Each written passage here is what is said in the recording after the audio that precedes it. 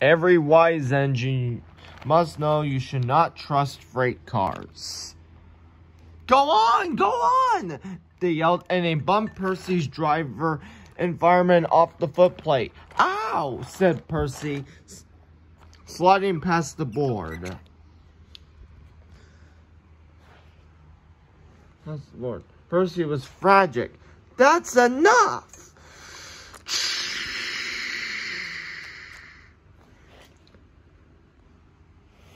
Percy was sunk.